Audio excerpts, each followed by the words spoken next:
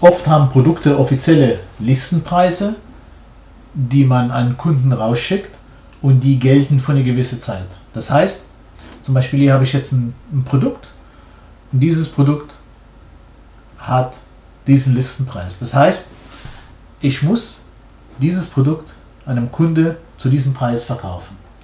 Listenpreise sind ganz schön, okay, wenn man jetzt ein Standardprodukt hat.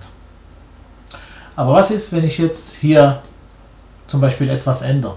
Ein anderes Laufrad nehmen ein anderer Motor. Was passiert mit Listenpreis? Bei Kalkwerk ist so, dass der Listenpreis ändert sich mit den Änderungen. Das heißt, wenn ich jetzt ein anderes Laufrad nehme, die Differenz zwischen dieses Laufrad und das vorige Laufrad wird mit dem Listenpreis kalkuliert. Deswegen ist der Listenpreis immer, hat immer dieselbe Distanz zu dem Stückpreis. Ja? Wenn man vorher sieht, das ist jetzt die, es ist 5.1 vis-à-vis 5.2.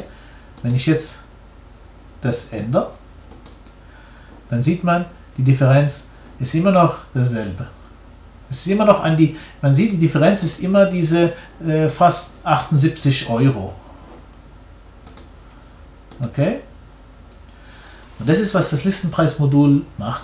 Es subtrahiert das Standardlaufrad weg und addiert dieses neue Laufrad. Ja, genau dasselbe beim Motor und genau dasselbe bei der Montage und was immer.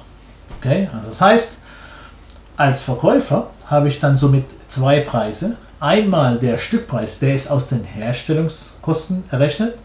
Diese Herstellungskosten mal diese zwei Faktoren, komme ich auf den Stückpreis. Und dann habe ich einen zweiten Preis, der ist aus dem offiziellen Listenpreis äh, kalkuliert. Und der bietet mir eine Referenz. Er zeigt mir, ich liege hier in dem Fall gar nicht so schlecht, weil ich kann dem Kunde den Preis anbieten und kostentechnisch ist der Preis der, äh, oder sagen wir so, der Preis wurde aus den Kosten rausgerechnet. Auch wenn man jetzt einen Rabattsatz hinzufügt, zum Beispiel jetzt hier 55 Prozent, ändert sich der Nettopreis, ist dann quasi der Stückpreis mal Rabatt. Und Sie sehen da, der ändert sich der Listenpreis dementsprechend. Ja? Und das ist der Sinn dieser Listenpreisfunktion, äh, ist, sie bietet die Möglichkeit, Produkte mit Listenpreisen zu versehen. Und diese Listenpreise variieren sich mit einer eine, eine, eine Konfiguration, die vom Standardprodukt abweicht.